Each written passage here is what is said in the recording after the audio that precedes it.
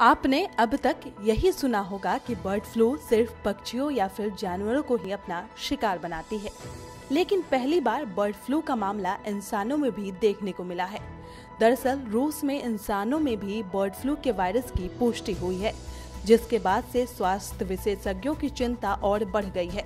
इसकी जानकारी रूस की ओर से विश्व स्वास्थ्य संगठन यानी डब्ल्यूएचओ को भी दी गई है।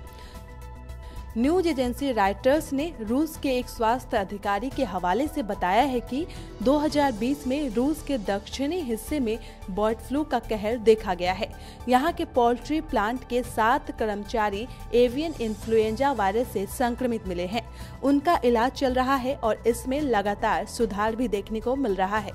हालाँकि अभी भी बर्ड फ्लू संक्रमितों में हल्के लक्षण दिखाई दे रहे हैं। रूस के स्वास्थ्य अधिकारी के मुताबिक, इन लोगों में से दूसरे लोगों में वायरस फैलने का कोई संकेत अभी नहीं मिला है। सभी संक्रमितों को आइसोलेशन में रखा गया है और इनके संपर्क में आने वाले सभी लोगों को ट्रेस करने की कोशिश जारी है। इंसानों में बर्ड फ्लू के ज़्यादातर संक्रमण के मामले संक्रमित जीवित या मृत पोल्ट्री उत्पादों के साथ सीधे संपर्क में आने से जुड़े हुए हैं। बर्ड फ्लू जंगली पक्षियों के पलायन से फैलते हैं। बता दें कि मानव में बर्ड फ्लू के संक्रमण का पहला मामला साल उन्नीस में आया था, जब हांगकांग में मुर्गियों से एक शख्स में ये वायरस फैला था।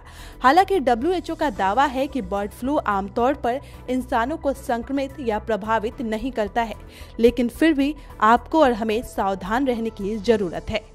सब्सक्राइब करें पर्यावरण पोस्ट।